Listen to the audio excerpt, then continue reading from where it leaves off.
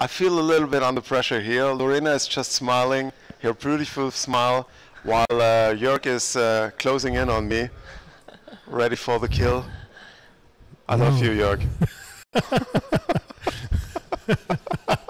this, this always This- works. this- This always no, works. no, this disarms you all the time. This is always uh, working here. So yes, uh, I'm, I have to say uh, I uh, um, I think uh, um, still think Ege is one uh, um, and Turkey is uh, one of the uh, leading underwater rugby nations in the future of the future, and we will see a lot coming up from there.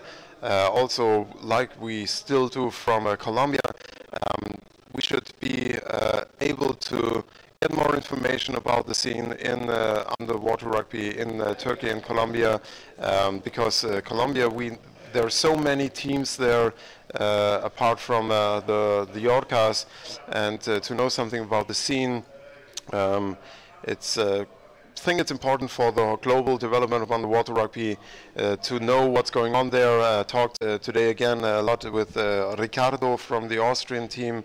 Uh, Australia. Australia team, sorry. Uh, he's uh, Colombian uh, too. And uh, Australian is really going forward with underwater rugby, pushed mainly, as he told me, by Bobby, Bobby Simpson, as we know him on Facebook. Uh, so, yeah, a lot of information there in the world. Let's go into the game. Uh, Finland against Turkey here um, for place uh, number five and six. Correct. All yes.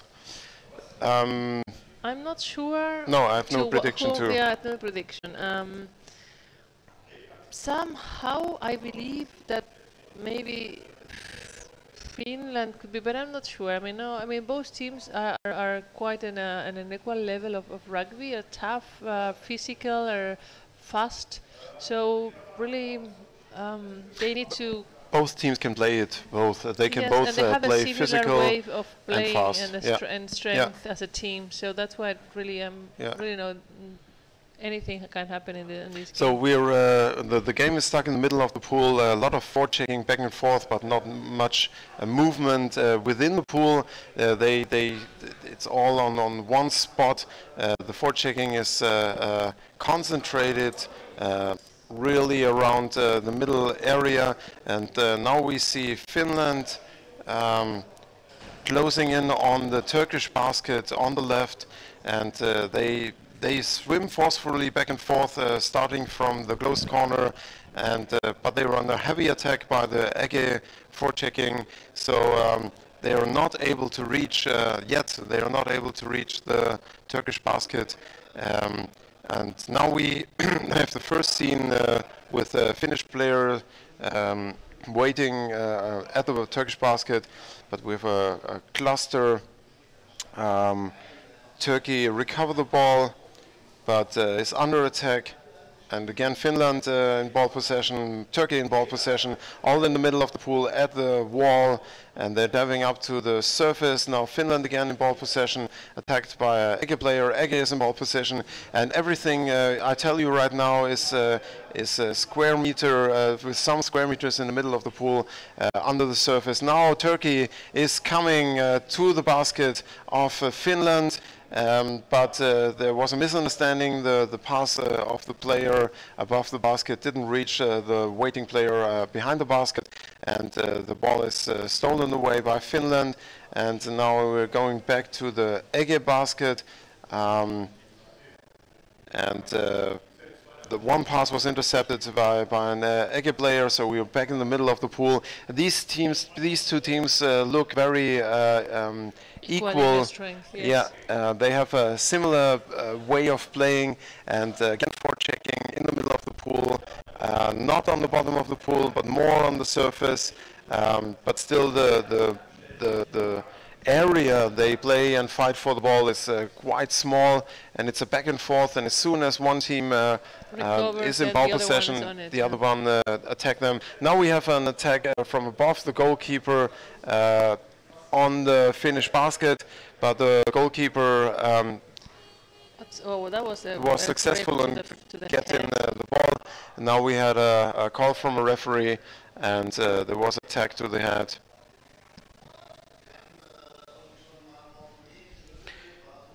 So uh, here we go. Uh, Ege is uh, waiting for the free throw uh, of Finland. And uh,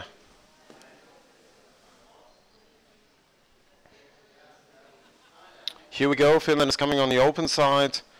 Um, already players positioned on the open side coming from the close side going in uh, but uh, Ege managed again to uh, uh, recover the ball but uh, they don't get far. It's a back really back and forth. This forechecking is uh, quite fast and um, quite aggressive well done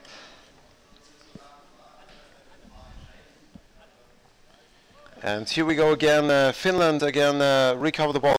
The, the attack of Ege on the Finnish basket was wow, stopped. That's but the forechecking, the the, it's the amazing. game They're is moving decided. in the middle yeah, of the yeah. field between the These uh, there, we have at least uh, four players doing the forechecking uh, from both teams. So at least eight players down. Um, and uh, the the forechecking is uh, impressive because the ball is going back and forth in the middle here of the pool, and uh, uh, both teams um, are able to break through from time to time, but uh, they're stopped by the by yeah, most of the pool uh, play time is uh, is uh, played in the middle of the pool.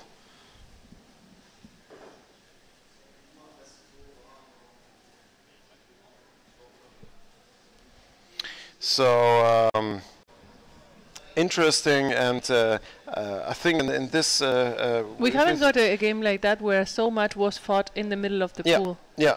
That's uh, really that that that uh, yeah. shows. Uh, Here we go. Uh, there's the the egg players that come from the open side, close side, and uh, now the pressure is heavy on uh, the Finnish basket, and uh, we know Ege can score. These players are really happy. They're coming out from the close side over the goalkeeper, passing down to the player, waiting at the basket, going out of the skirmish around uh, the the basket.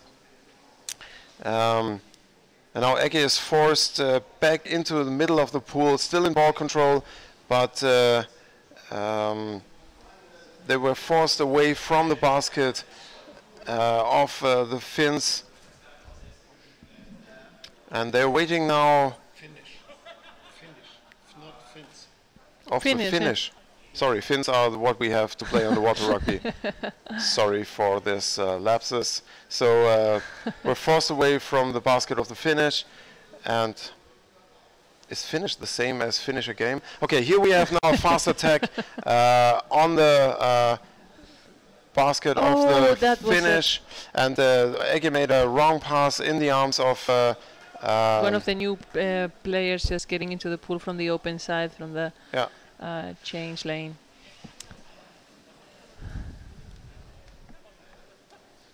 So uh, very interesting game, and uh, like Lorena said, uh, the last games here have been more. Um, uh, Normally in the games before, we would had the players at least b- breaking through, getting yeah, almost one meter more close to goal attack centered. Yes, but right now they're moving really in the middle, one meter back and forth. So now uh, uh, the uh, the team from Finland is attacking the basket of Ege, and uh, they come from the close side. But the ball is in uh, in the corner close side on the surface. There's a cluster there. And uh, the Finnish team is now uh, waiting to build up uh, their attack pattern. Uh, they're waiting until one player position himself at the Ege goal. And it's one minute left in this third game of the last day of the Champions Cup 2016 here in Berlin. And uh, I recovered the ball and was trying to. Uh, it's, go it's out, really but no. difficult for both teams Yeah, to, to break through. Ege had better chances, uh, as far as I can uh, say, on the goal of uh, the Finnish team. But uh, uh, don't underestimate uh, uh, the Finnish players.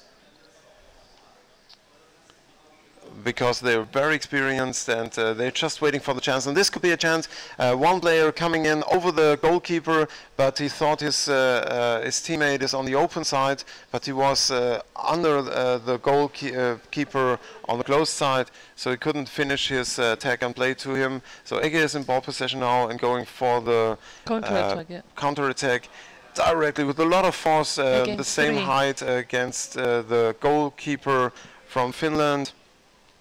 This is a, a, a fast and exhausting game we see here, and uh, Yeah, but you see both teams very focused, very concentrated, and on yes. top of the game. They are really doing no mistakes until right now. I'm quite sure they uh, finish 0-0 in the first half, and uh, probably we will have a 0-0 in the end of the second uh, half and have a penalty shootout because these teams both uh, uh, know what they are exactly what they're doing, and uh, they don't they don't seem to make mistakes. Some passes are wrong.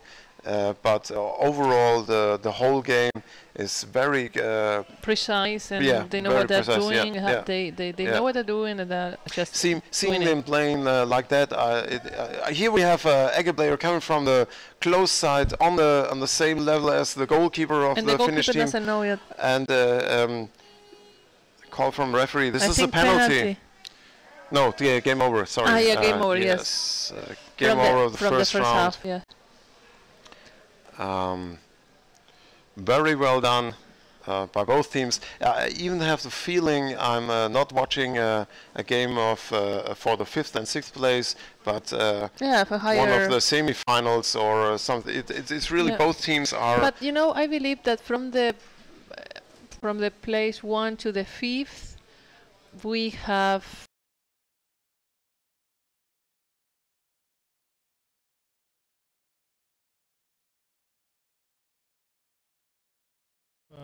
any attack, uh, if you become too much uh, under pressure, especially in the defense, uh, uh, on the end of the day, this uh, will not pay off uh, totally. Yes, I mean, um, I think that uh, we will be seeing probably penalties. I mean, uh, I think uh, Ege has been attacking a little bit more consequent, a little bit more, not a lot more, but enough that if they do, they can repeat that kind uh, of uh, attack in the second half. Maybe uh, they can have a chance to score because they almost uh, had a score uh, in the few times they attacked because they were very precise and they put a little bit of pressure. The problem is that they cannot achieve more than one or two waves because then the ball gets lost and then they are back towards um, the Turkey because the Fin the Finnish uh, de- uh, defend so well. So if Ege can keep an attack and maybe have four or fifth wave, maybe then I think that would be the possibility for them to score. Again, uh, repeating myself, uh, I feel like 100 times. Uh, the domination in the middle part uh, up to the second lane uh, is important in uh, every underwater rugby game. If you don't put constantly players there, uh, you will miss uh, uh, the uh, player where you have a chance to pass to. So if you don't, uh, if you only go in, in, in, in on the basket, you Alone, yeah. don't, you don't score in the, in the first uh, two times, then you are under pressure, and the risk to lose the basket that's It's very high, easy. yeah. To, it's uh, you block the the, uh, the the ball, and then uh, you go to the surface, and then the whole attack is it's over. So it's important to keep the the ball down, and uh, and also the amount of players, I mean, right and left, so that you have uh, always the chance to move the ball around. Let's see, we have, I mean, the second half already started, but uh, we cannot see the game yet. No, we only can see us, which is not so bad, but maybe not But so I- not for the people, exactly. So now here we are, uh, is uh, on track attack. I mean, um, my feeling is throughout the first time, Ege start being a little bit more um, having the domination of the team uh, of the of the game a little bit more uh, than the, they start and it was equal and then Ege was progressing and have a little more uh, ball possession and attack toward the Finnish basket and mm, let's see if they can uh, continue building up and uh, that would mark the difference. Now we are uh, on the Finnish basket and uh, we have the goalie and the defender into position and Ege is trying to come over the close side but the forechecking of the Finnish uh, are trying to keep them away. We have already the Ege player on top of the goalie, uh, but they had to withdraw and uh, now they are regrouping and coming in but uh, the Finnish uh, defender got the ball and is trying to swim away uh, and pass the ball still where I mean however within the three meters line uh, close uh, to the basket and Eger is trying to recover the ball and we have now a fight again in the middle field uh, the Finnish player got uh, recovered the ball from Eger and is trying to swim, but the Eger player recovered it. I mean, it's amazing. It's just you know going like a ping pong. The ball is changing the uh, within the two teams, and now Eger is on a counter attack, but it was uh, slowed down by one of the of the Finnish uh, players, and now we have. Um, the ball in the surface just above the basket of the Finnish basket and let's see uh, who has it. Eger. Eger is trying to uh, give the ball farther, and now the uh, attacker is coming onto the goalie, but have been uh, stopped by the defender. They're fighting on the ball. We have two other players from Eger that recover the ball and withdrawing and going around the three meters, half a circle around, giving the uh, playmates them some uh, time to uh, recover, to get some air, and start attacking again. And this is what I was meaning before. If they can keep this kind of pressure and coming into waves, uh, the Finnish team is a great defender, uh, but uh, this is the only chance they have to force a mistake uh, on the defense. Yes. Yeah, but they don't use the possibility when they're in the attack that always you can see two players on the surface one is go to exchange that's two less underwater yes. two less on the bottom no, no i'm agree so i ba agree basically you. you. have uh, if you have an attack uh, in attack mode you have uh, two goalkeepers two defenders uh, which will be exchanged so and the offense team has always five people to can attack when they don't include aggressively the goalkeeper. So that makes the, the, the now we have a class on the surface which uh, does not have at, at all. Uh, so let's see yeah. what. So, oops. six minutes left here in this uh, second, second, half. Uh, Finland against uh, Turkey, and it's still 0-0 and both teams are really on the uh, how do you say uh, eye level. It's uh, Augenhöhe in the German. I don't think you can translate it. Uh, one to same one. same attitude? Yeah the oh. same style of playing and uh, they are fast uh, they can uh, they are forceful. They can play physical underwater rugby with one-on-one -on -one fights um, I mean, it's a great match. Uh, it's really yeah, great it's to see, you know, the, the yeah. patterns of attack and defend and how they defend and the forechecking, how yes, they recover the ball, how they build up the counter attack, yeah. two, three.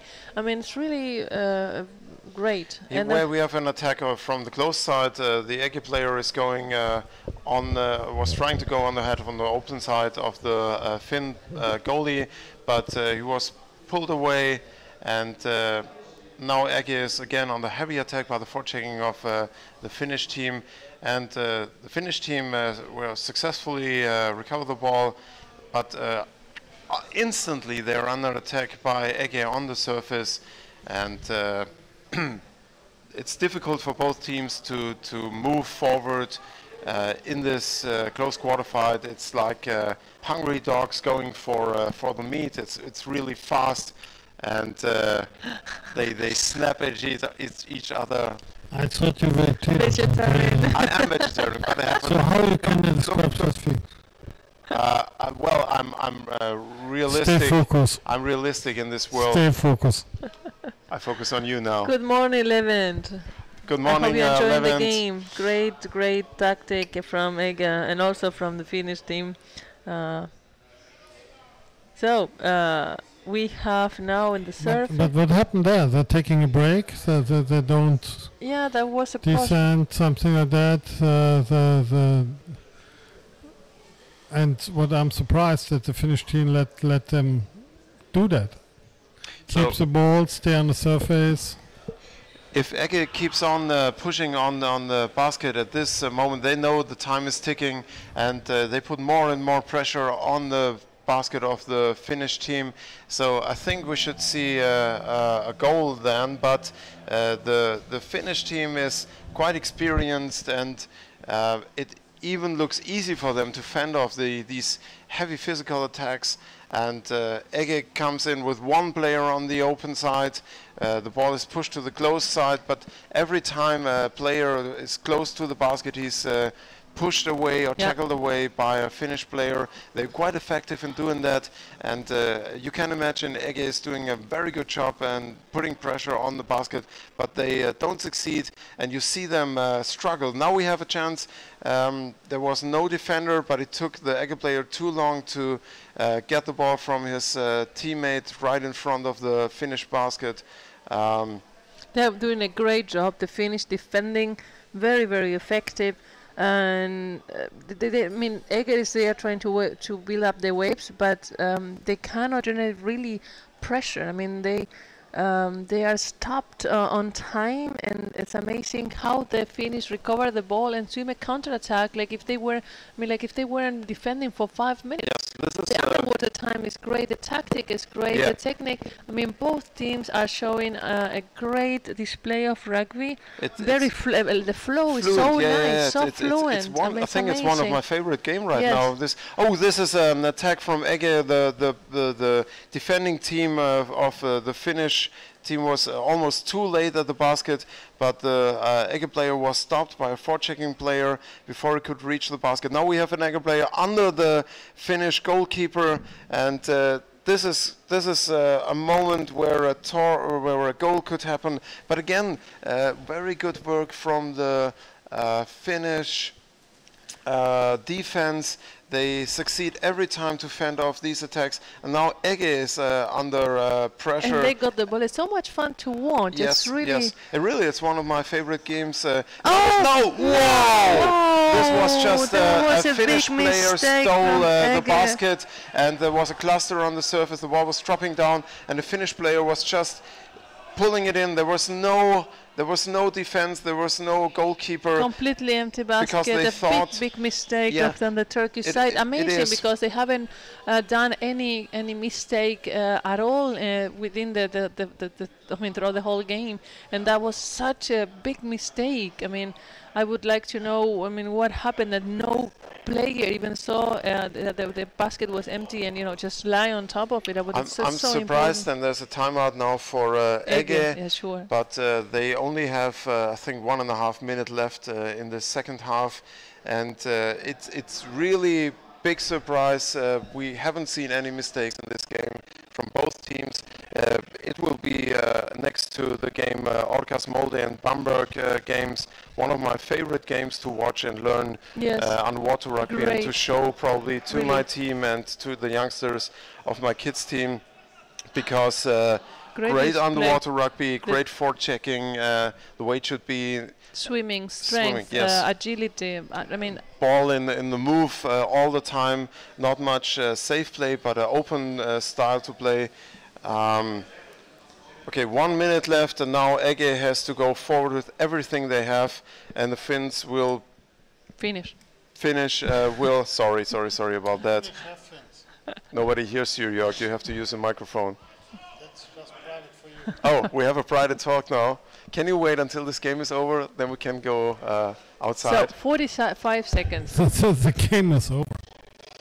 Um, the game is no, never over. There is always another game. but uh, now, now let's see if Ege uh, goes in and uh, So why the, the player on the surface wait of Egger? Yeah, that, that- that's, That's- ask myself. There is one player, Another the goalkeeper, one, waiting. two, 20 seconds three, left. three on the surface. Everybody. They, they, they- now the Finnish are just waiting the time. This is the ball was outside. Free throw against Ege. Last chance for Five Ege here in this game. Finland. Five. Three, two, one. So 1-0 for RiUSuk. Congratulations. I mean, RiUSuk is on the fifth place of this championship, and Ege did the sixth place. And 11th uh, mentioned that last year Ege University made the seventh place.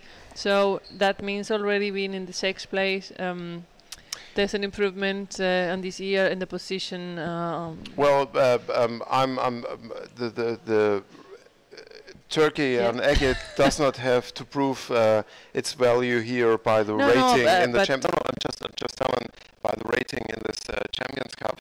I know it's uh, uh, it's a good sign if a if a uh, team is high up in in the in the scoring list, but. Uh, uh, the, the rugby we see from Ege is the important thing, and uh, compared to uh, uh, Finland, Ege is a young uh, underwater rugby country, and uh, to compete uh, uh, against an experienced team like the Finnish team, the way they did, uh, what we saw right here, is just amazing.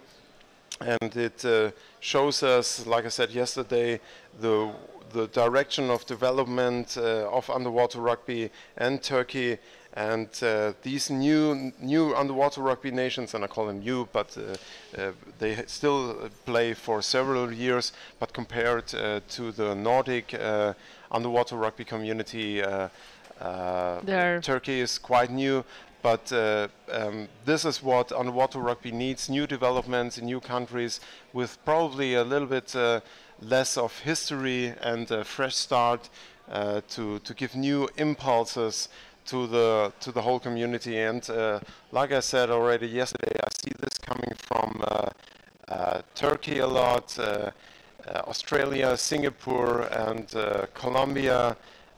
Hey, here's Winne again. Good to see you, Winne. Good morning. Coming up, Langen versus Akaren. Hmm?